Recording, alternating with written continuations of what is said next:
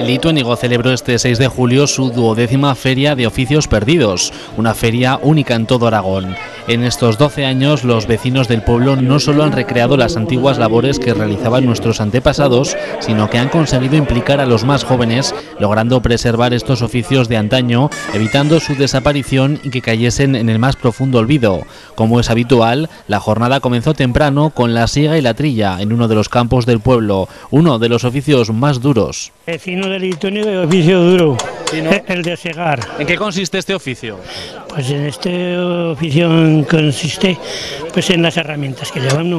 La O, llevan, ¿no? La zoqueta, la manga, para que no peguen las espigas aquí en el brazo, y el zamarrón. La zoqueta es para, para no cortarse, ¿no? Para no cortarse, no, sí. sí. ¿Y, usted este cuando era más joven lo hacía aquí en Lituénigo? Lo he hecho poco. Poco. Lo he hecho poco, pero he visto. Sí, ¿no? He visto, sí. sí. Imagino que, que tampoco salía a estas horas de la mañana, salía más temprano, ¿no? Todo el día. Todo el día. Todo el día en el resto. Almorzar, comer y merendar. En el resto sin venir a casa. Todo el día. Y yo me toco poco, ¿eh? A mí me toca poco. Bueno, ya 12 años de feria, es un orgullo para vosotros esta, esta feria, ¿no? Pues yo llevo 11. Que el primero no vine. Yo estaba enfermo, no sé qué pasó, pero el primer año no vine. Llevo 11 años. Y un orgullo, ¿no? Hombre, cada año más. Y estaremos llegando mientras podamos. Mientras que podamos llegaremos, porque si no, mira, me llena hay cuatro. De cuatro que estamos, dos forasteros. ¿Cuántos años tienen ustedes? Si no los... 65. 75. 75. Ah, Mientras pueda seguir ahí agachando el riñón, ¿no? Sí, yo sí, yo sí. Y que me gusta. Me gusta este oficio. Luego, ya nos verás allá arriba. Que luego tengo otro oficio, no sé si te acordarás, el de las adobas. Adobas y ladrillos que fabricó junto a otro vecino Juan Manuel en esta plaza del castillo, donde no faltaron los oficios de cantería, leñadores o el taller de herrería. Los puestos ocuparon todos los rincones de Lituénigo, como la calle San Miguel, donde estuvieron un año más las artesanas del embutido. Sí, aquí nos encuentras otra vez, chico. ¿Cómo hacéis el chorizo? ¿Qué ingredientes lleva? Pues ajo, sal y pimentón. Lo de siempre, como toda la vida se ha hecho. Y el magro, claro, con tocino y magro. ¿Y cuántos kilos de embutido vais a hacer hoy aquí en Lituénigo? Pues 30. 30. Solo. Bueno, luego morcillas hay más, ¿eh? Pero los chorizos 30 kilicos.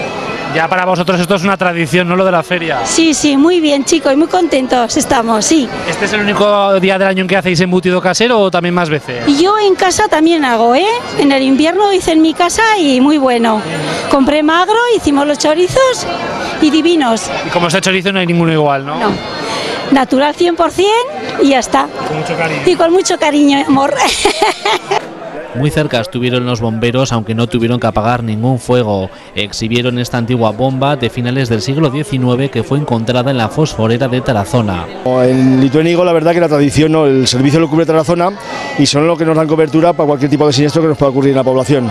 Hablamos un poco de cómo, de lo que estáis aquí exhibiendo, este antiguo camión de bomberos. Sí, bueno, aquí queremos demostrar un poco co- lo que es la evolución del Servicio Provincial de Extinción de Incendios. Tenemos material de cuando empezó el servicio, como la ropa que llevamos puesta y los cascos que hay por ahí, y tenemos ya lo que es una bomba manual de data de 1898, estaba en la fosforera de Tarazona y que la hemos restaurado. La tenemos aquí exhibiéndola para que la gente lo vea y nos pueda preguntar cualquier cosa que, quiera, tanto de material como de la bomba. Es un puesto que llama la atención a la gente también, ¿no? En esta feria.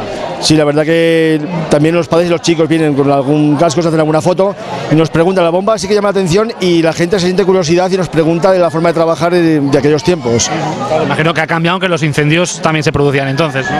Sí, sí, y seguramente más graves que ahora porque las estructuras, como todo lo demás, había más, más madera, ahora hay menos, afortunadamente, y eran más, más espectaculares y más problemáticos.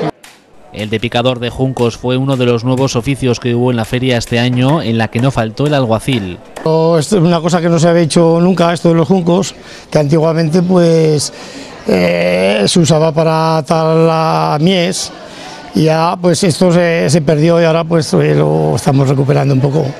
¿Llegaste a hacerlo eh, hace años?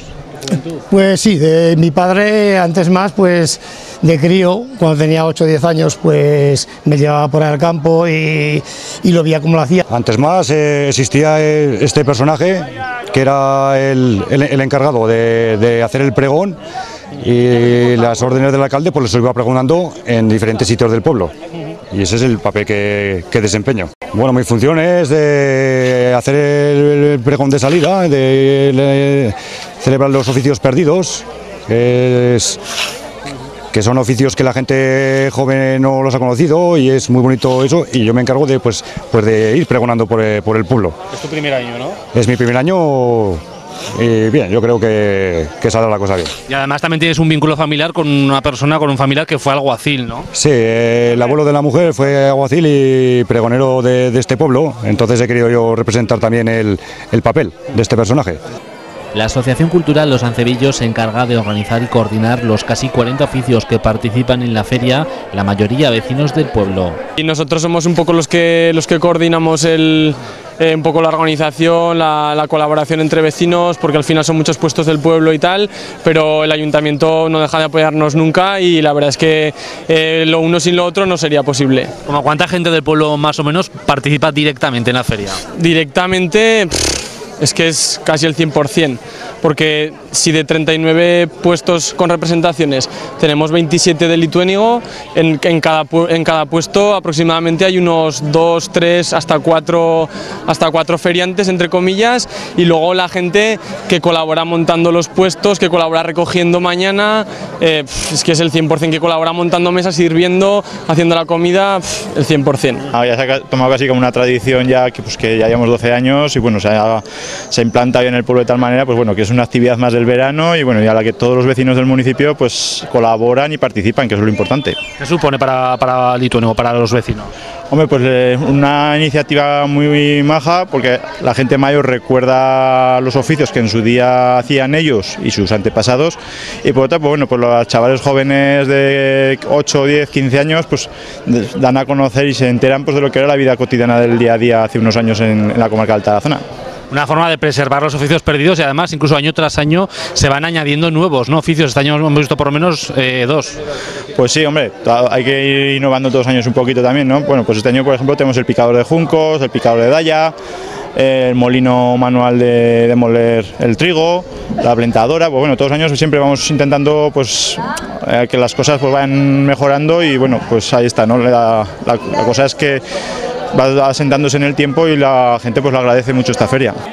La implicación de toda la población es lo que hace única esta feria, que ha conseguido mantener vivos los oficios desaparecidos hace décadas, pasando de mayores a jóvenes. Me estoy un poco informando por ahí y, y, en Aragón, así con tanta diversidad de oficios y así, no he visto no he visto ninguna. Así que hay diferentes ferias, pues a lo mejor puntuales de artesanía, puntuales de madera, puntuales, pero completas así yo no conozco. De todas maneras me gustaría conocer un poco para valorar y pues, pues cosas también para mejorar.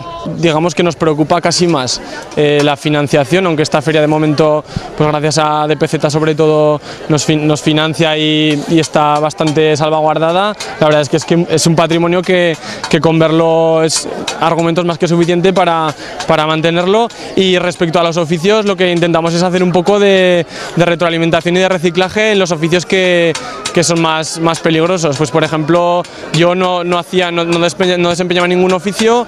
Cuando la carbonera dejó de venir un, un, hombre de Añón, pues aprendí el oficio de carbonero y ahora pues estamos cinco carboneros. Lo de las hilanderas, por ejemplo, que es el oficio que también era gente más mayor y tal, pues también vamos reciclando como aprendizaje un poco a la feria y otros días de, de verano y del año y un poco es la, la dinámica que tenemos para, para reciclarnos con gente del pueblo. Al final luego los puestos que que vienen de fuera son más, más específicos y no, tan, y no tan apegados a esta zona. O sea, que se puede decir que el Lituanigo está salvaguardando todavía más el tema de los oficios perdidos, ¿no? Primero con ese museo y segundo con esta feria. Eso es, eso es el museo, el museo con, pues, un poco con, con la colección de Jesús Hernández, con todo su trabajo que, que, hizo recopilando las piezas ahí, fue el primer paso para luego sacar la feria y, por así decir, sacar todos esos oficios al exterior y, y de la forma, de esa manera, pues un poco preservarlos, porque al final, como todos participan en la feria, pues todos tienen ese apego, esa identidad y ese, ese cariño y, y ese trabajo por conservarlo. La afluencia de público fue masiva durante toda la jornada, no faltaron visitantes de Tarazona y comarca y otros llegados desde más lejos. Pues es una cosa que nos gusta y por eso este año que los chiquillos tienen más años queremos que lo vean. ¿Qué es lo que más os suele gustar? Pues nos ha gustado al entrar, que es donde están los animales, y hoy casualmente hemos estado cuando estaban esquilando a la oveja, y a los niños les ha gustado. Muy llamativo, ¿no? Muy llamativo. Y a los niños, como les gusta, pues repetimos. ¿De dónde viene? De León, pero estamos en Alcalá del Moncayo. No por la comarca. Sí. Bueno, ¿y qué le parece esta feria de Lituénigo? Hoy muy bueno, ya he venido el año pasado también. Está muy bueno esto. ¿Qué es lo que más les gusta? Pues me gusta todo, pero me gusta más recordar lo mío, esquilar las ovejas, hacer adobes y todas estas cosas. Día intenso para recordar en Lituénigo que ya tiene la vista puesta en su feria número 13.